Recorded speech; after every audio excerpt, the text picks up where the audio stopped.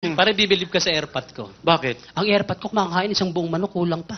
Isang buong manok na pinagmamalaki mo rito? Bakit? Airpot ko, isang buong lechong baka kinakain. Yun naman ang kalokohan. Alahi kami ng matatakaw eh. Pero wala pa rin sa airpot ko. Mas matindi pa ron? Yes. Bakit na naman? Airpot ko, kumakain ng ilaw eh. Ayan ang kalokohan. Iyan ang totoo. Hindi kinakain ng ilaw. Ibahin mo, airpot ko, kumakain ng ilaw. Ang airpot mo, kumakain ng ilaw? Oh. Pa- Paano nangyari yun? O isang gabi, narinig ko, sinabihin nanay ko, Ling, patayin mo ng ilaw at kakainin ko na yan. Hoy! Ibang ilaw yun! Di ba ba yun? Kala ko pre-pre walang ilaw. Mukhang marami kumakain ng ilaw dito ah.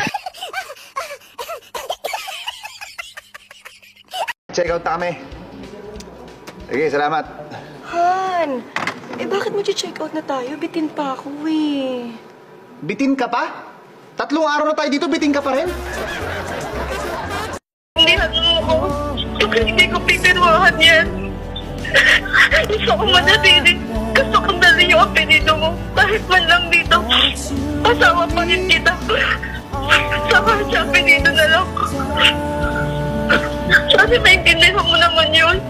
Gusto kong dalhin yung apelido mo. Hanggang kamatayo katulad ng pangako natin. Sensya ka na, ganito, ganito naging ano natin. Siguro, Hindi ko alam pero pinagtagpo lang tayo, pero siguro hindi tayo tinadhana. Sa isa't isa.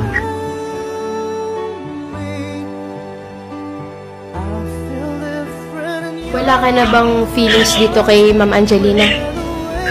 Wala na po.